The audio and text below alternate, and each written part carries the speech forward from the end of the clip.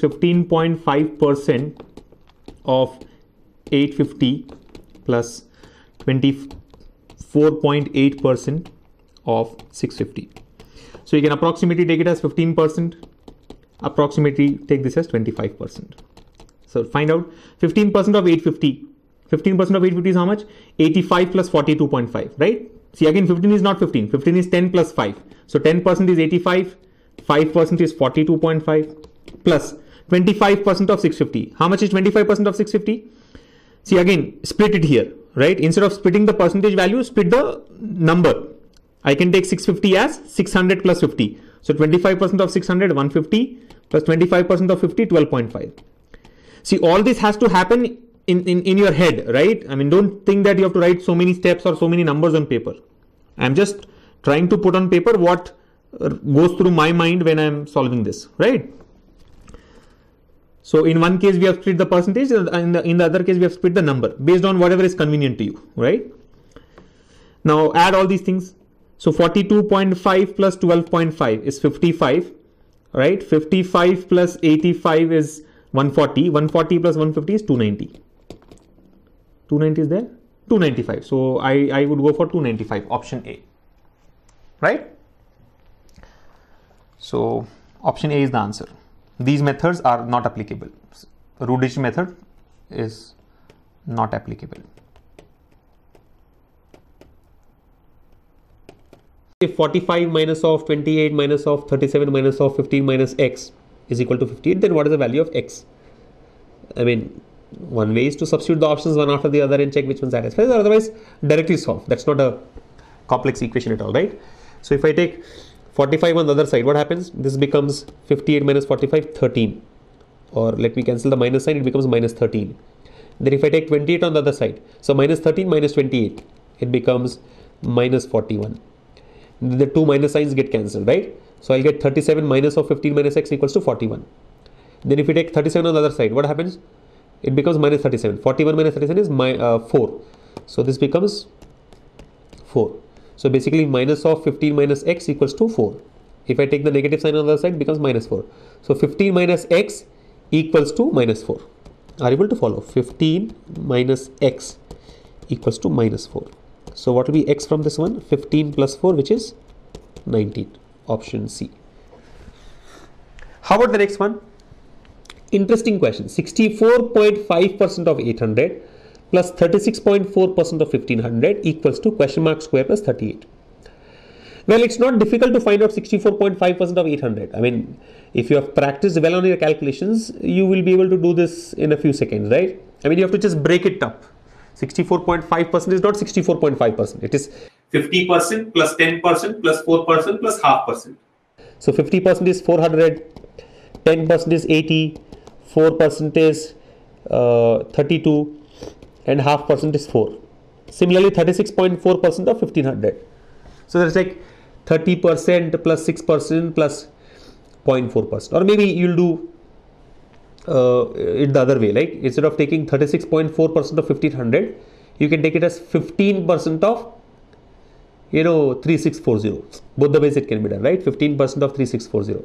So that will be like uh, uh, you know 15% uh, of 3640 will be 364 plus 182 so there's like 546 546 you'll get 546 are you able to follow? Smart. Again these are all smart methods. Instead of taking it as 36.4 percent of 1500 you can take it as 15 percent of 3640 remember we have discussed this in our percentages videos. A percent of b a percent of b equals to b percent of a. And i'm not saying that this is a method that everybody should follow. If it is convenient to you, follow it. I mean, I felt finding out 36.4% of 15 is complex when compared to finding out 15% of 36.4. So I've reversed it. But again, 36.4 into 100 will give you 3640. Now, what is 15% of 3640? 10% plus 5%. So 364 plus 182. That comes out to be 540 plus 6, 546. So this is what is there on the left hand side, which is equal to what squared plus 38, right? Now try to solve. See 32 plus 4 is 36. 36 if you subtract from this one we will get you know 2 here. 2 will be left out. So 546 plus 400, 946, 946 plus 80 is 1026 plus 2028, 1028 is equal to question mark square. And from this you have to find out question mark which can be done. You know finding out square root is not a very complex procedure. And anyway, when you look at the options at this step, you know that 110, 120, 140, 160 all are out of range. So you can mark option 5. None of this is the answer, right? but then 1024 somebody says, yeah, maybe let me just check. Yeah, this minus 2, sorry, this is not plus 2, this is minus 2, I'm sorry. This becomes 1024. And 1024, you know, is 32 squared. Right? So uh, we can say question mark is equals to 32 but this is a waste of time. Although we are using a smart step here. What is that smart step? We are not finding out, I mean, you can actually, instead of finding out uh, what is the square root, you can just look at the options and verify, right? I mean, 110 square will be much more than 1024. And if 110 square itself is eliminated, 120, 140, 160 all gets eliminated.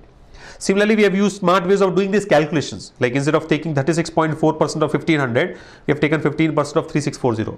Instead of taking 64.5% of 800, we have taken as 50% plus 10% plus 4% plus 0.5%. But even after doing all these smart, uh, I mean, even after applying all these smart ways here, I would still say that this is a waste of time. The simple reason here is if you observe, the question is 64.5% of 800 plus 36.4% of 1500 plus uh, which is equal to question mark square plus 38. What will a smart student do? He will look at the range. If you look at the range, 64.5% of 800 will be less than 800. This is less than 800. 36.4% of 1500 will be less than less than 700. I mean, it's like less than 50%, right? So less than 700 or let's say less than 1500. I mean, even if you want to take it as 1500, let's say less than 1500 less than 800 plus less than 1500 overall will be less than 2300 so if your left hand side is around 2300 it will be much lesser than 2300 but even if you take it as 2300 none of these options would satisfy why the moment you put 110 square see 110 should come in place of question mark what is 110 squared it will be 12100 your right hand side is 12,100 plus 38. Completely imbalanced, right? Left hand side is less than 2,300. Right hand side is coming out to be in the range of tens of thousands, right? 12,138. So clearly option A gets eliminated. And the moment option A is eliminated, B, C, D also gets eliminated because if 110 itself is giving us an imbalanced equation, 120, 140, 160 will make it even more imbalanced. So your answer has to be option 5, none of these. So that's smart. And that in my view will not take more than a couple of seconds. I mean, the moment you throw a look at this question, you should realize. And that is why I always say, whenever you're solving questions from simplifications, look at the options first. Most of us fail to do that. We just look at the question and start solving it. Maybe you're using a smart method like what we have done here in the earlier case. But it is of no use because if you throw a look at the options and you know gauge the range there, you will know that all the first four options are wrong. And the moment the first four options are wrong, Option 5, none of this would be correct. 6 squared plus 7 squared plus 8 squared plus 9 squared plus 10 squared upon root over 7 plus 4 root 3 minus root over 4 plus 2 root 3. Now, I think what we need to do here is simplify the denominator first, right? Unless we do that, it, it is uh, not going to be easy to crack this, right? So try and simplify this. 7 plus 4 root 3, right? How can you uh, write this? I mean, basically, we'll try to write 7 plus 4 root 3 in terms of a plus b whole square or a plus root b whole square so that this whole square and under root gets cancelled right so first of all we will take it as 7 plus you know 2 root 12 because you know when you take 2 inside it becomes 4 right 2 square so 4 into 3 is 12 2 root 12 and now if you see it can be taken as root over see I can split 7 as 4 plus 3 and we can split 12 as 4 into 3 you know what we are trying to do right we are trying to get this in the form of a squared plus b squared plus 2ab. So 4 can be taken as root 4 whole square plus 3 can be taken as root 3 whole square plus 2 root 12 can be taken as 2 into root 4 into root 3. So if you see this is like a squared plus b squared plus 2ab. Now what is a squared plus b squared plus 2ab? a plus b whole square. So if you rewrite this in the right format we'll get root 4 plus root 3 whole square. So what happens is under root and square gets cancelled and finally we are left with root 4 plus root 3. Root 4 is nothing but 2. So this is 2 plus root 3. So basically under root 7 plus 4 root 3 has become 2 plus root 3. Similarly, if you try to you know work on the other side there 4 plus 2 root 3 4 plus 2 root 3 this is like 3 plus 1 this is 3 into 1 right so need not write all the steps now we can directly take it as root 3 plus 1 the whole square under root. So this gets cancelled. We are left with root 3 plus 1 now substitute this 2 plus root 3 and root 3 plus 1 in the denominators there. Right? So what do we get? We'll get 6 squared which is 36 4 7 squared 49 64 81 and 100 whole divided by this 2 plus root 3 minus of root 3 plus 1 so plus root 3 minus root 3 gets cancelled and 2 minus of 1 becomes 1 so denominator is equal to 1 basically right? Denominator is all equal to 1 simplify the numerator. So 36 and 64 is 100 100 plus 100 is 200 281 290 and 330 right? So answer is going to be 330 option 2 11992 minus 7823 minus 456 equals to what? By unit digit method i am getting 5713 but the answer is 3713 please help me well nazir first of all you need to understand that when you have used unit digit method you have to tell us the options also because unit digit method can be used only when options are given. You have not given us the options here. And by unit digit method the only thing that we'll get to know see 11992 minus 7823 minus 456 equals to what? According to unit digit method 2 minus 3 is minus 1 minus 1 minus 6 is minus 7 so 10 minus 3 unit digit method will only tell us that the answer will end with 3 you're getting it? Like for example we'll borrow one from 9 let's say. So this is 12 12 minus 3 9 9 minus 6 3 so unit digit method will only tell you that the answer is ending in 3 how have you decided that unit digit method is giving you 5713 where do you get 571 from? Look at the method name no? Method's name is unit digit method. Unit digit method right? So only unit digit can be obtained which is 3 you are saying according to unit digit method i have got 5713 but the answer is given as 3713 no. According to unit digit method you know that the answer will end with 3 now if there was only one option ending with 3 and you have marked 5713 as the answer then it is your fault. You have to be careful. Unit method is applicable only when all the options are ending with different unit places. And why so much of struggle for such a simple question here?